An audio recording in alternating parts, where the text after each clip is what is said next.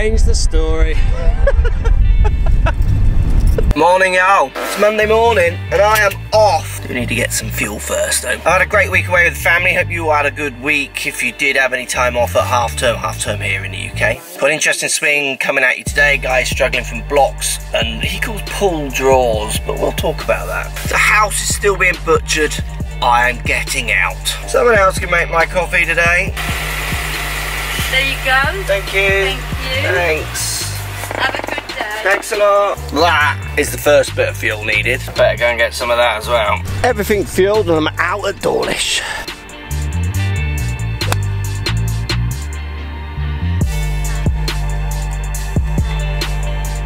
So today's swing complains of hitting pull draws and blocks or over draws. We can see from his swing he's got a strong right hand grip. So right hand looks under the club. Now this will always, for this player as it seems in the video, make him look like he wants to use the face this way so more turned down to the ground. If he doesn't manage that angle with loads of shaft lean, which you can see from the side angle he does, he actually tries to put a lot of shift across. So tries to get his body moving a long way this way to handle that angle. Obviously doesn't always balance them, doesn't always win. So we're going to give this player two options. We're going to say if he wants to hold it this way, we're going to talk about the way he turns, also the way he exits, very high hands, which is going to be very dangerous. Again, that's him trying to handle that angle, which by the sound of it, he isn't. Or we're going to talk about how to move the grip and then some of the other things he'll have to do to make sure that grip works.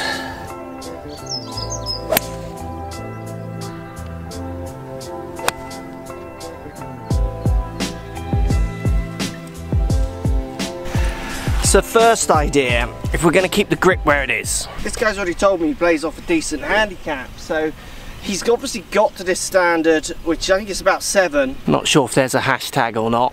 Using this grip, we could play with this grip and see what happens to this player. If I was going to use your grip, strong right hand, the last thing I would do is keep trying to push club path further right to compensate for the twist that you put in with your grip. I would get my path going straight almost a slightly left which is what you find from often lots of the good strong grip tour players so if I've got a face that's say going to be delivered three close to zero so three left of the target line then I would work on turning so far to the left to move my path to the left. Say around five out to in to get a little functional fade. So for that, for me, compared to your slide, I would be trying to put as much rotation in as possible round left hip.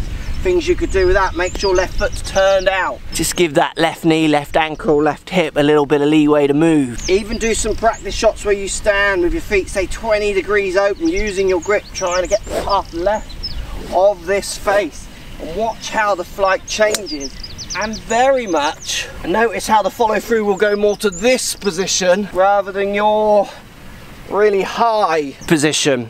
Now this doesn't work for everyone but when you get players who have a bit of speed and ability like you to move this way it gives them more options. There's another shot in there.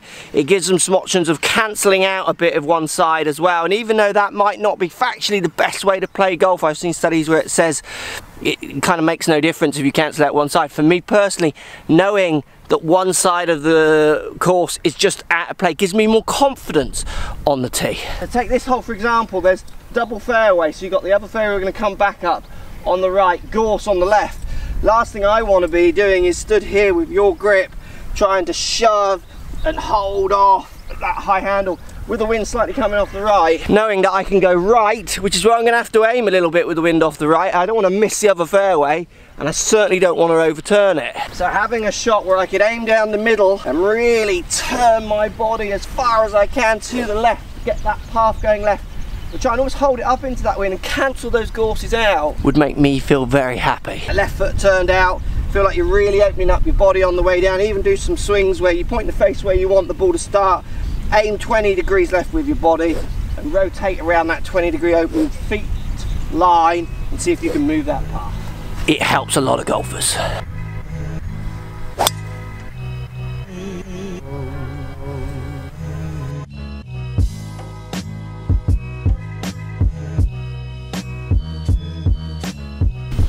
Right, arrived at Torquay now. Doing a little bit of testing with Dan today. So next idea, let's think about right hand grip. I personally, unless you're uber uber skilled, would like that right hand grip to be not as underneath the club. So you've got to sync your right hand hold up with the face. So normal ideas, you know, kind of uh, first finger, thumb going up somewhere between right shoulder and chin. You'll probably find your right hand grip's a bit fisty, which gets the hams wrapping round, which is why we tend to see it more on the side of the club, so to the right as I look down. Often for golfers, what I say and they got strong grips, I'm trying to get them to get this feeling of the first finger and the thumb pinching more together, and also to get this first finger kind of more up the side. So coming up over the side of the club rather than it being underneath wrapped around so much. So in effect, right hand more on top. Again, the problem you have, if you get right hand on top, and that will take the club face away on the downswing from being quite so twisted this way. What you're going to do with your movements of trying to slide and hold off and push path out to the right and hold face and high finish, you're going to end up just blocking them. So changing the right hand grip is step one, but you have to do these other parts with it. So right hand grip more on top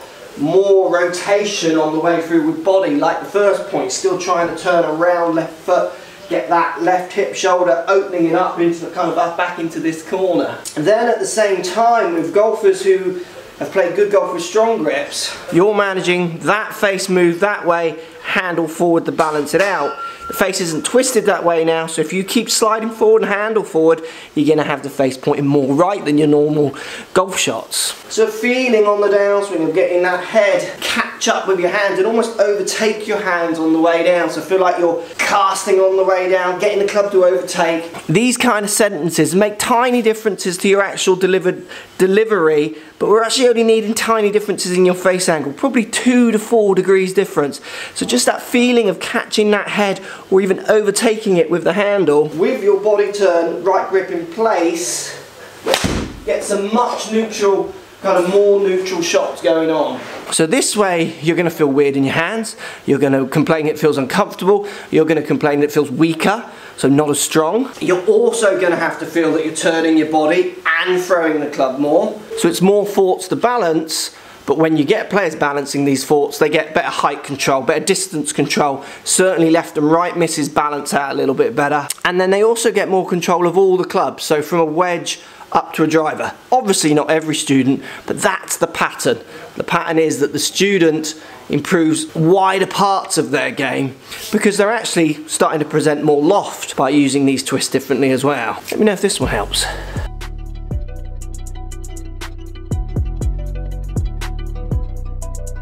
get it within a custom shot distance, don't I? Oh my word!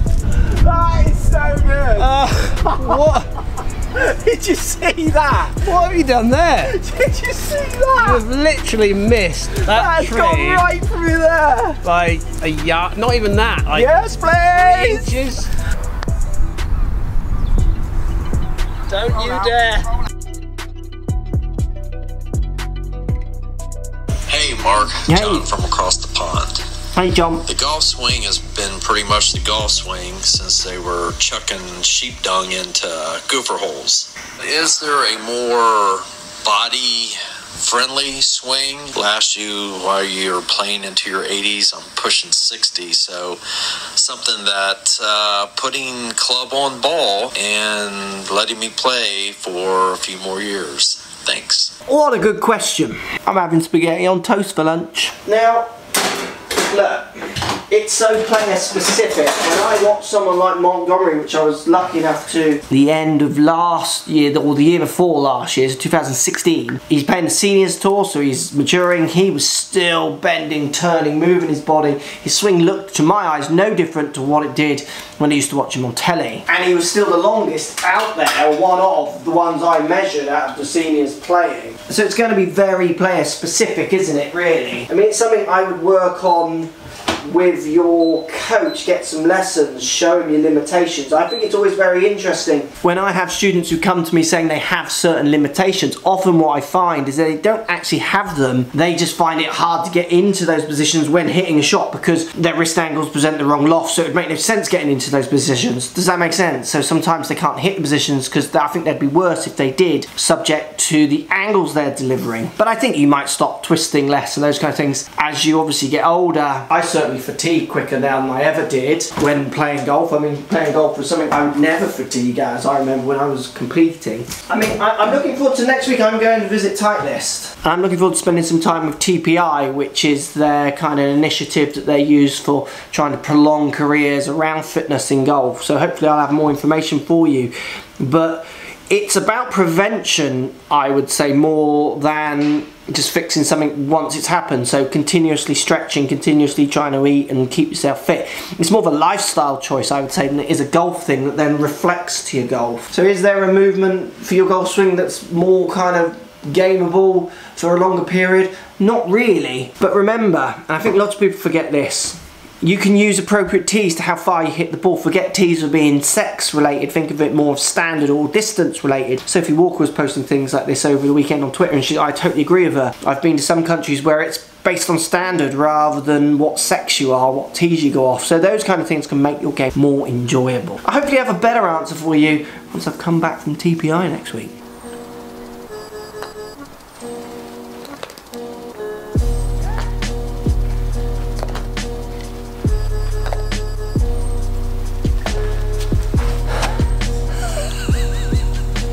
This idea really helps people, like a lot of students over my time of teaching, this idea really helps once they've made that change in that grip. So if they are a player who's suffering from like trying to really hold off high hands, like we see this player really wrestling with what the grip does with their finish. Once you've got that right hand in position, getting them to make some swings where they feel like they're finishing much more around left shoulder, so follow through is coming more this way rather than out and up. Often changes so many things. Face the path control and path. Just all in one. That one simple sentence. And it might not work for you and if it doesn't just give it a go and then drop it if you find it doesn't work. But try and feel like you're finishing much more around left shoulder. So what to you will feel much lower. It's great for getting people to get the handle out as far as possible, then back in towards them. It then allows that club to spin out in front of them a bit more when they get the handle working. This way a lot more. Gets away from that idea of almost hitting down the line they're trying to hit it, where you want things angular and curving as they're hitting the ball. Nothing's really travelling straight. Low finishes, more around their body. Fantastic for controlling face to path and path once you put a different grip in place. I think for you, I'd love to know, post comments or let me know on Instagram if that one works or not. It works for so many. In the comments section, go on. What do you say? Go on. Right, that's it. That's it. Well done. Where are you going? Mm, oh, sorry for some, isn't it? Oh, I'm busy. Oh, the room. I want my office back now. That's that's where me that's where me office was. Oh, another swimmer I see. Bye. See you all tomorrow. Have a good evening. I don't know what I'm going to do for tea. Again, we haven't had a question of the day. Should we have a question of the day? Here's a question then. What made Tiger miss the cut at the weekend? Down there in the comments. Let's hear. I didn't get to see much of it. What's your opinions? Why did Tiger miss the cut? Did he play okay? Is there still promising stuff going forwards? I think he's playing again next week. That's only a good thing for him. Didn't Bubba Watson do well? See you all tomorrow.